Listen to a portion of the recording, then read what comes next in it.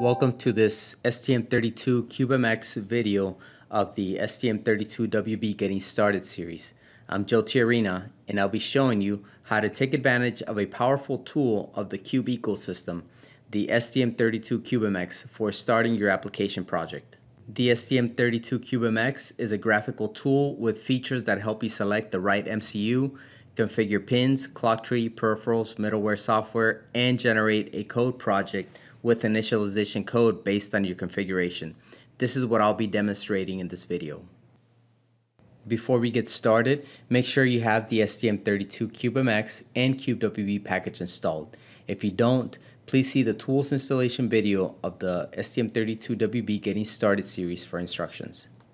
Let's start by opening CubeMX and click the Install Remove button to verify that we have the CubeWB firmware package properly installed and linked. The package is installed if the box is shaded. It is also good practice to click the refresh button to check if there's a later package available. You can also get a summary of the main changes in the respective package version by clicking on it. I can now show you the location of this package. From the main page's help menu, I can click on the updater settings where I'll find the firmware repository directory path. Then I can go to this directory from a file explorer window which is where you'll find all firmware packages that have been installed. I'll then locate CubeWB, which contains the low-level drivers, middleware, BLE examples, and more. The first step to starting a new project is to select an EVA board or an MCU part number. By clicking this button, you can search for available STWB evaluation boards. From here, you can use the available filters to help you find the proper one.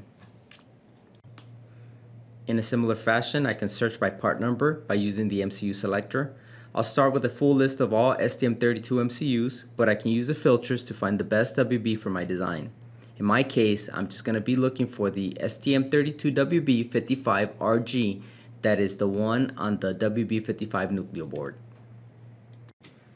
From here, I can double click the device to start the project, but before I do that, notice that I can also access relevant information about this device from here.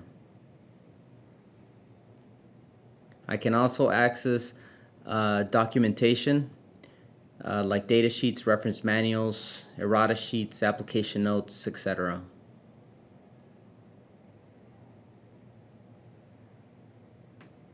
Okay, now uh, I'll go ahead and start the project by clicking the Start Project button. Now from the pinout and configuration window, I can start setting things up like the HSE and LSE oscillators. Notice that as I enable functions, the associated pins will get highlighted on the pinout view, which is great because it helps you visualize the pin utilization to avoid conflicts. For demonstration purposes, I'm enabling the peripherals needed to enable the Bluetooth LE radio and middleware. And it looks like I still need to enable the hardware semaphore dependency in order to enable the WPAN middleware for BLE. So I'll go ahead and do that. From the WPAN window, I can now check the box labeled BLE, and a configuration window will show up. This is where I would configure my BLE profile, but I'll leave this section for a future video.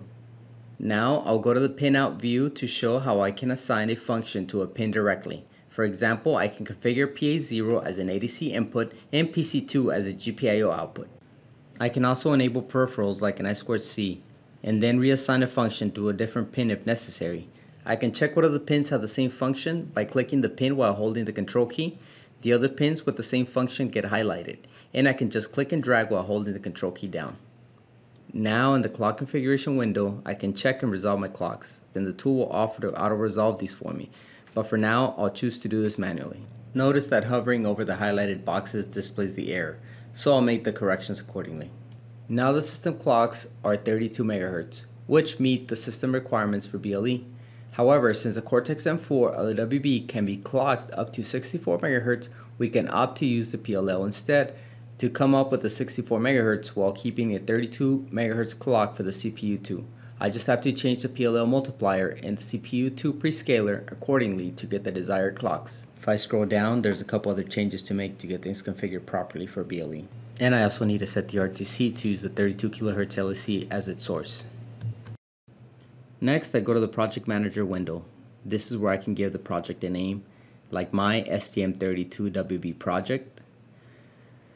I can set its location, select the toolchain IDE that I want the project generated in. I will select Cube IDE for this. And I can also set the heap and stack size from here. And I can also select the CubeWB package version that I want as source of my code generation. Now I'm all done with my configuration so I can click the generate code button to generate my project. I will choose to open the project and apparently everything went well so my CubeIDE project is now open and ready to be built.